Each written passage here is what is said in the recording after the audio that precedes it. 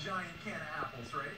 Oh, he's making a pie now. You can just use regular five regular. That is an easy way to make apple pie. What is this thing? Can you imagine? Yeah, I'm recording this for Uncle Rick. Apples. Yeah. Okay. All we have Sorry. to do is fold It's these okay. over like this. Okay. Yeah. One, That's it? two, three. You get the fourth Oh one. my gosh. It doesn't even have to be perfect. You, you, Yeah, thank you you. know I. Now I'm gonna bake this at 375 degrees. Okay. And Denise, you know me. You know I had to have one ready for you. That's what that 16 people. Look at this. Are you serious right now? Unbelievable. Come on. Alright, now take a look at my caramel sauce in here. Oh, and Watch what happens when I pull across. This is like the stickiest substance in the entire world. Wow. Look at that.